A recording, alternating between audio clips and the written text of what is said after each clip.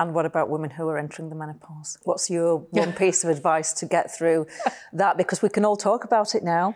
Yeah, we can all we can all talk about of, it. Lots of women MPs of, of all and parties. it's great. It's great. You know, it's been cross-party. Carolyn Harris's private members bill, Yeah. the MP for Swansea East, that's been really enabling. Having high-profile people like Penny Lancaster and Davina McCall talking about it is really, really, really important.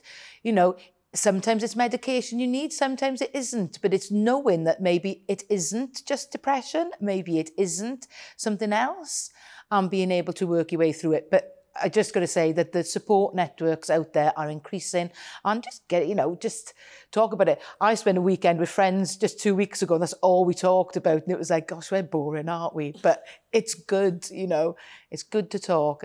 And HRT, you're, you're, it's absolutely um, got rid of any difficulties that you were going through. Yeah, I, I, Right. absolutely. Yeah, it, it has. I mean, uh, I think there's a lot of self-care that members of parliament need to do on top of, the, you know, just having the HRT. You know, we need to be maybe having a few fitness classes and, uh, you know, going out and doing some walking and talking together and being more active because it's a, quite a sedentary lifestyle, as you know. But there are other things apart from HRT we can all be doing to make our lives a lot, lot easier.